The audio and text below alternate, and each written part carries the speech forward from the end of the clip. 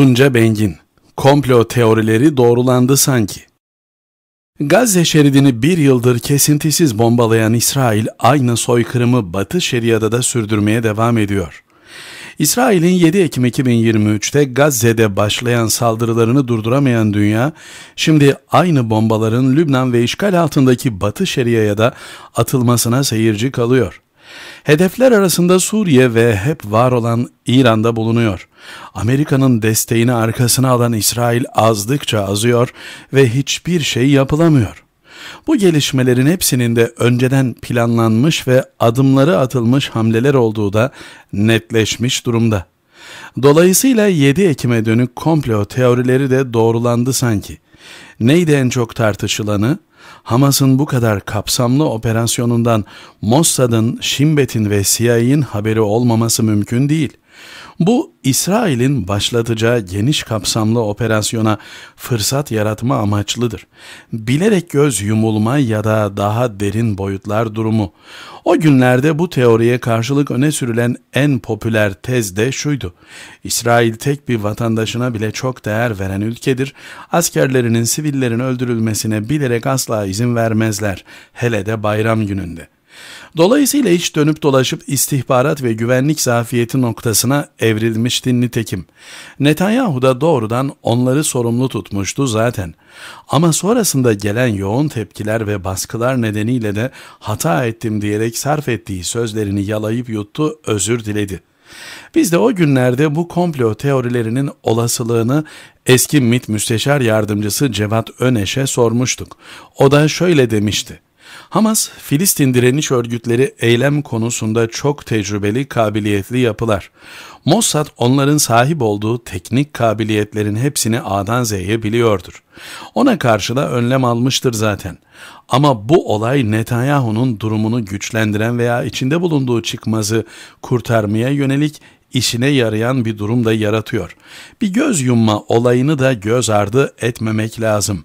7 Ekim'de yüzlerce İsrailli öldürüldü, hayatını kaybetti, yaralılar kaçırılanlar da var ama diye sorduğumda aldığım yanıtta şuydu. Doğrudur bunlar Netanyahu için önemli değil fazla. Yani feda edilebilir ya da böylesine bir sonuçtan hiçbir dahili olmasa dahi yararlanmak istediği ortada.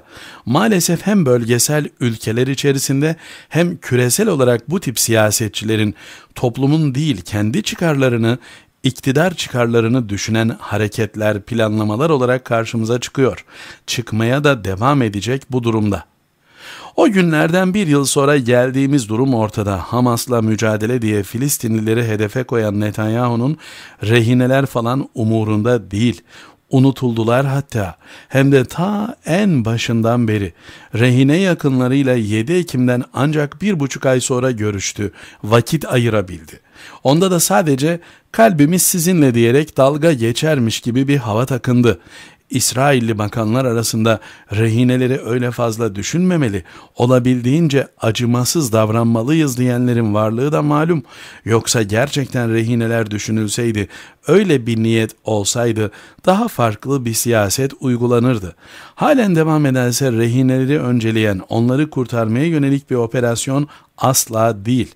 Netanyahu'nun derdi Gazze'yi Filistinsizleştirmek. Şimdi de Lübnan'ı Gazze'leştirmek. Bilerek, isteyerek çocukları, kadınları hedef seçerek sivillere korku ve sistematik öldürme siyaseti uyguluyor. Vatanlarını, topraklarını terk etsinler diye.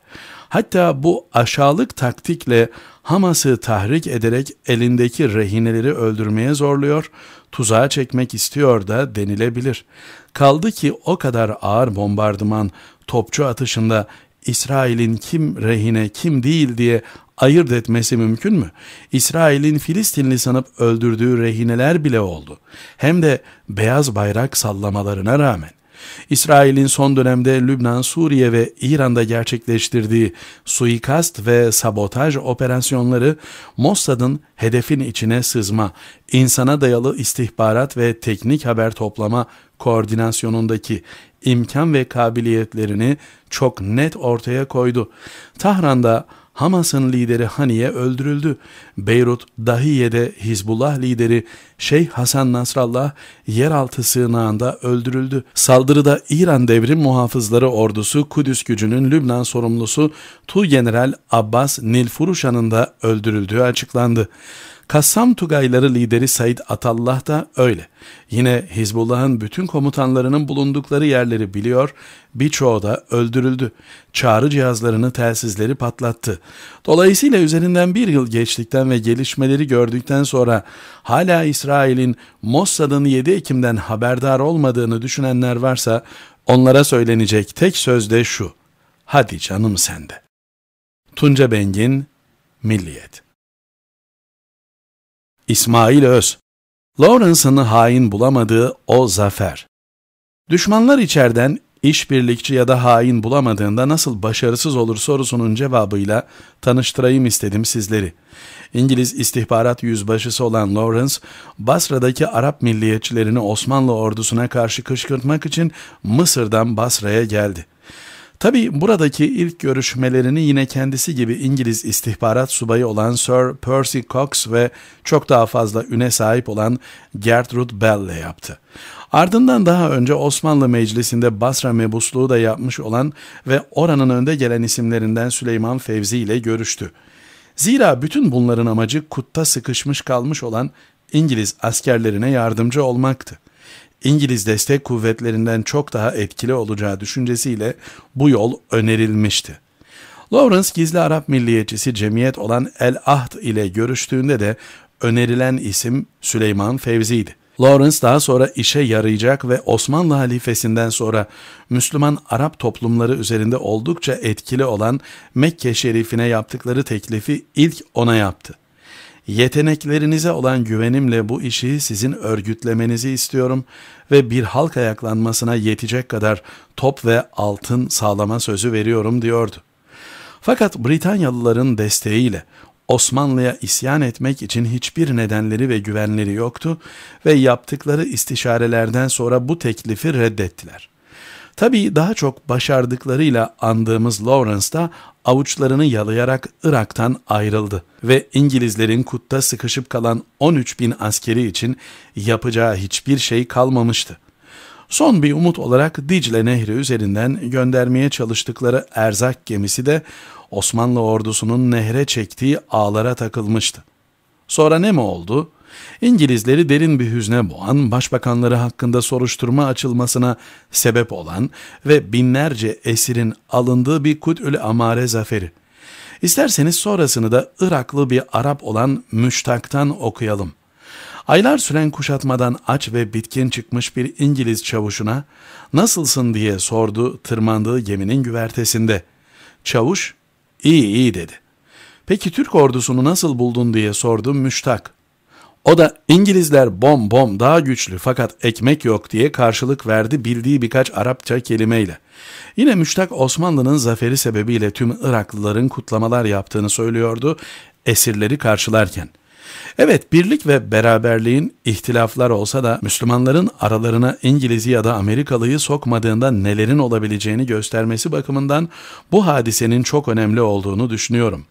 Hala Şerif Hüseyin kafasında olanlara da Impact International dergisinde yer alan şu cümleyi hatırlatmak istiyorum. Osmanlı halifeliğine karşı ayaklandıkları günden bu yana Arapların kendi kendilerini yıkma sendromu sona ermemiştir. Elbette Arapların kahir ekseriyeti birlikten yanadır. Fakat idareleri elinde bulunduranların girdiği yörüngeler ve elde ettiği imkanlar, onların etkisini bertaraf ettiği için görüntüyü besleyen şey dağınıklık olmaktadır ne yazık ki. 2 milyonluk Gazze'nin nasıl direndiğinin cevabı da içeriden hain çıkmayışıyla ilgilidir bana göre.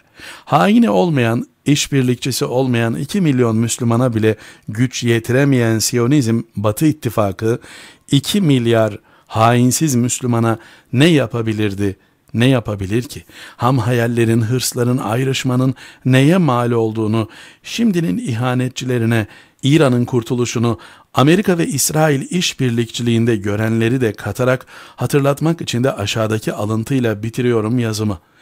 20 Mayıs 1985 tarihli The Guardian adlı İngiliz gazetesinde yayınlanan bir habere göre Lawrence'ın mezarı üzerine şöyle bir yazı bırakılmıştı. İhanete uğramış milyonlarca Arap adına diye başlayan ve SM simgesini taşıyan yazıda şunlar belirtiliyordu.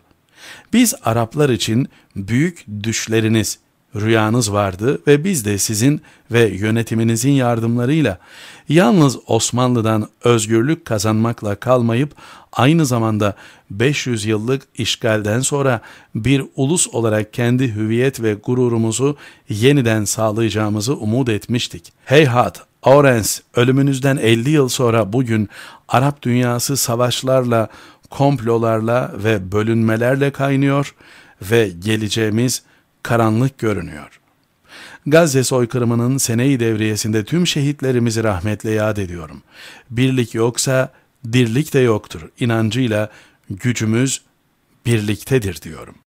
İsmail Öz, Diriliş Postası